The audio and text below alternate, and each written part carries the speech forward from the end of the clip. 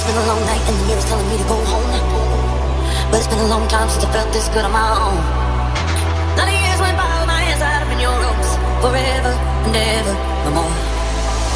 The midnight.